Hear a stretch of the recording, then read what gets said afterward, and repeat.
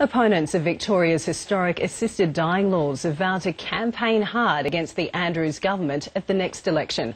After passing the Legislative Council, the lower house looks set to rubber stamp the bill, making the state the first in Australia to pass right to die legislation.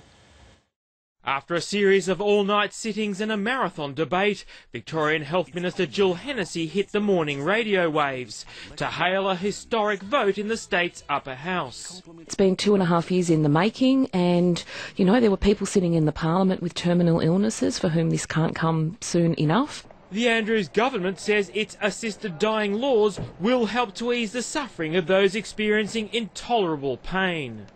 The scheme is due to begin in 18 months and will give the terminally ill with less than six months to live the right to ask to end their own lives. For neurodegenerative cases like motor neurone disease, that assisted dying permission time frame will be extended out to a year. And the great challenge, of course, with things like MND is that people lose capacity and capability uh, often about 12 months from death. And so there is an exception where there's been three doctors assessed. According to health law and ethics expert Carolyn Johnston, the bill does contain adequate checks and balances to guarantee the terminally ill make informed choices before being given lethal medication to take.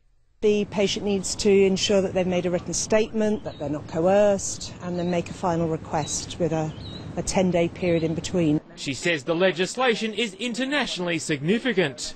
It sends a message about patient choice around the way people want to think about their end of life. Um, and yeah, I think it's a very brave move. A move opponents warn could have ramifications for the Andrews government at the ballot box. We won't let it go.